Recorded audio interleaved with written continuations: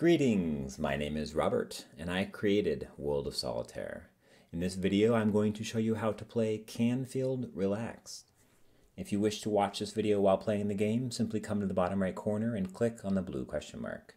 The goal of Canfield Relax is to move all the cards to the top right corner foundation spots. At the beginning of the game, a random card is dealt to one of the foundation spots, and then you build up from there by suit. Once you put the king, you wrap around by placing an ace onto the king and continue building up from there. So for example, here I have the nine of hearts, next I need the ten of hearts. These other spots all start with nine, so then I can put a nine there.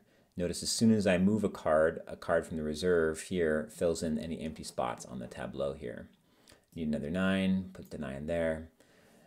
On the tableau, you build down by rank and alternating color. So I can put the red 5 on the black 6.